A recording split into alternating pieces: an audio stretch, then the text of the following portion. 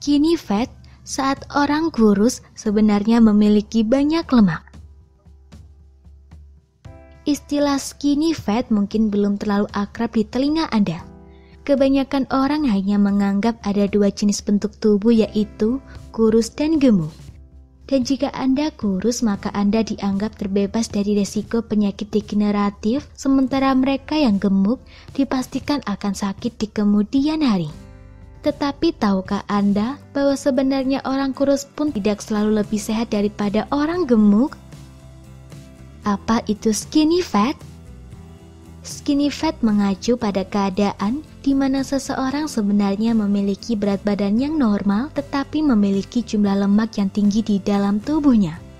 Nama lain dari skinny fat yaitu metabolically obese normal weight atau MONW atau thin outside fat inside atau TOFI. Secara sederhana ini berarti Anda kurus dan gemuk pada saat yang bersamaan. Mereka yang tergolong skinny fat bisa saja memiliki indeks massa tubuh yang tergolong normal atau berkisar antara 18 hingga 25 km per meter persegi. Kadar lemak tubuhnya ketika diperiksa pun masih berada dalam kisaran normal di bawah 30% untuk wanita dan di bawah 25% untuk pria. Tetapi ketika diperiksa dengan MRI, beberapa bagian tubuh terutama pada bagian perut menunjukkan adanya lemak yang tersembunyi di antara organ-organ tubuh. Kenapa bisa ada lemak tak terlihat? Ada dua jenis lemak yang tersimpan di dalam tubuh yaitu lemak subkutan dan lemak visceral. Lemak subkutan disimpan di bawah kulit, lemak inilah yang dapat menyebabkan Anda terlihat gemuk.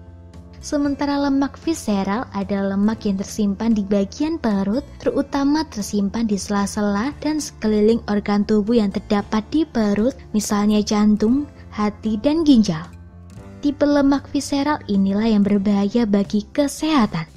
Letaknya yang tersembunyi, tidak mudah dideteksi, sehingga mereka yang memiliki lemak visceral tinggi cenderung tenang-tenang saja dan tidak melakukan perubahan gaya hidup.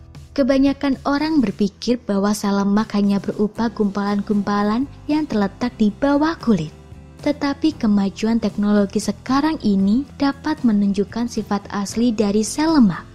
Lemak ternyata berperilaku menyerupai organ, aktif berubah-ubah bentuk, serta memicu hormon-hormon yang berpengaruh terhadap mood hingga kesuburan tetapi tidak seperti organ, sel lemak dapat membesar ukurannya dan disimpan secara terus-menerus hingga jumlah yang tidak terbatas.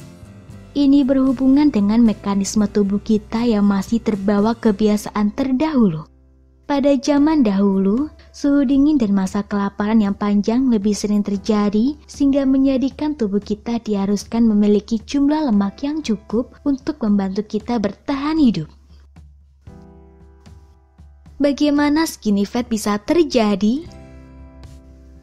Sampai saat ini kita percaya bahwa jika indeks massa tubuh Anda tidak melewati batas normal, yakni 25 kg per meter persegi, maka Anda tergolong normal atau tidak gemuk.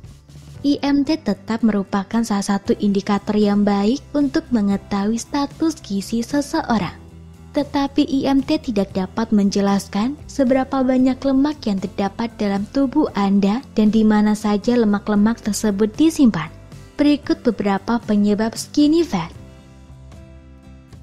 Gaya hidup Gaya hidup dan genetik berpengaruh besar pada kejadian skinny fat ini. Mereka yang berusaha menurunkan berat badan hanya dengan diet saja tanpa berolahraga memiliki resiko lebih besar untuk mengalami penumpukan lemak di bagian perut. Termasuk jika Anda sering melakukan berbagai macam diet demi menurunkan berat badan. Saat berdiet, lemak yang hilang dimulai dari bagian atas tubuh terdahulu, baru kemudian bagian bawah tubuh. Lemak di bagian perut adalah tipe lemak terakhir yang terbuang pada saat berdiet. Keseringan berdiet dicurigai dapat mempengaruhi cara tubuh menyimpan lemak dan lemak visceral merupakan salah satu contohnya. Pola makan Apa yang kita makan juga tentunya berpengaruh.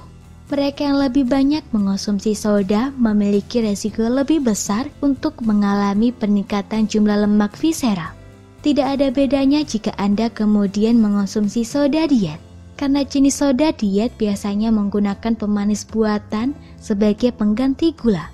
Pemanis buatan merupakan bahan kimia yang terbilang asing bagi tubuh, sehingga semakin banyak konsumsi pemanis buatan, maka metabolisme tubuh Anda semakin terganggu. Efek ini juga berlaku untuk minuman ringan lain, tidak hanya terpaku pada soda saja jenis olahraga.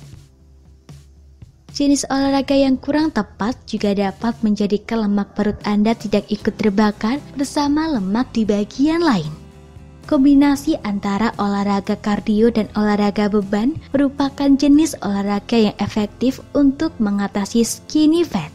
Karena skinny fat juga bisa disebabkan oleh terlalu banyak lemak tetapi jumlah otot sedikit, maka membentuk otot melalui olahraga sangatlah penting.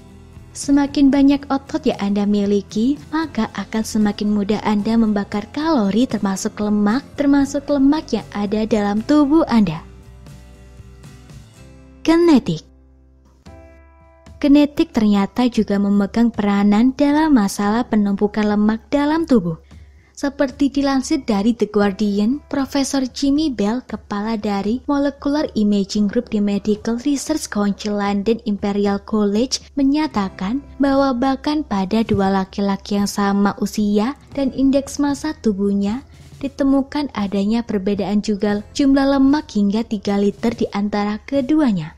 Profesor Bell juga mengatakan timnya pernah memeriksa seseorang yang termasuk underweight tetapi ternyata memiliki jumlah lemak hingga 7 liter sementara jumlah lemak rata-rata bagi pria adalah 5,4 liter. Efek samping skinny fat Substansi-substansi aktif yang dihasilkan sel lemak dapat menyebabkan berbagai masalah kesehatan. Resistensi insulin, kenaikan kadar kolesterol, kenaikan angka LDL, penurunan HDL, hingga memicu pembentukan sel kanker merupakan sebagian dampak buruk dari lemak visceral. Dampak lebih lanjut bisa berupa sakit jantung, diabetes, hingga stroke.